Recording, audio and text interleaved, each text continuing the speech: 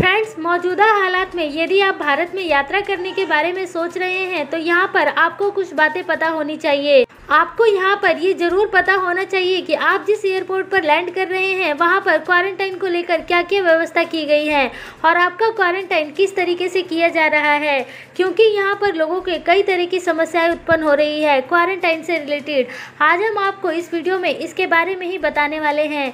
यहाँ पर जो लोग भी भारत में आ रहे हैं, उनके पास दो ऑप्शन दिए गए हैं।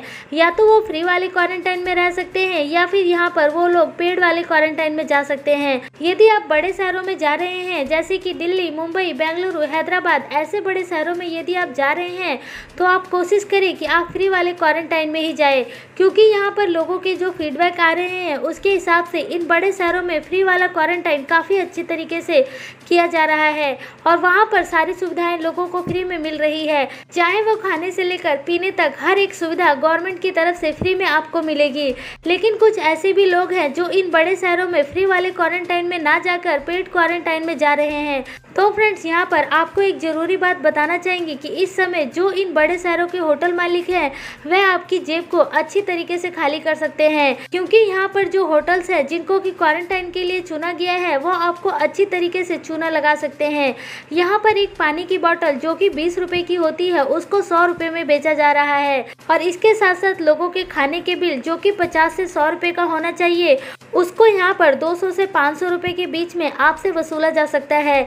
ये बात यहाँ पर हम नहीं बता रहे हैं। इसकी जानकारी खुद उन सभी लोगों ने दी है जो कि इस समय ऐसे होटलों में क्वारंटाइन के लिए गए हैं।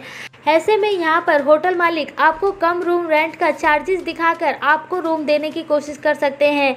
लेकिन उसके बाद जो दूसरे चार्जेस होंगे, उससे आपको वो लोग अवश्य ही लूट सकते हैं। फ्रेंड्स ये बात हो गई बड़े शहरों की, जहाँ पर फ्री क्वारंटाइन जो कि अच्छा है पैड क्वारंटाइन के मुकाबले।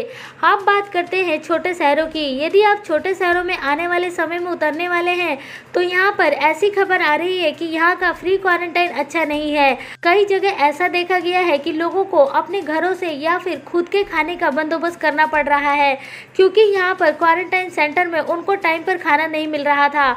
इसके अलावा साफ़ सफ़ाई का भी अभाव देखने को मिला है। तो फ्रेंड्स, यहाँ पर हम आपको एक सलाह देना चाहते हैं कि यदि आप बड़े शहरों में जाना चाहते हैं तो आप फ्री क्वारंटाइन की तरफ़ एक बार ज़रूर सोचें। और यदि आप छोटे शहरों में उतरने वाले हैं तो आप कोशिश करें कि आप पैड क्वारंटाइन में जाएँ। फ्रेंड्स, उम्मीद करते हैं कि आपको इस वीडियो से ज़रूर कुछ हेल्प हुई होगी। ऐसे ही और जानकारी के लिए आप हमारे चैनल को सब्सक्राइब करके रखें, ताकि आपको सारी जानकारी सही सही मिल सके।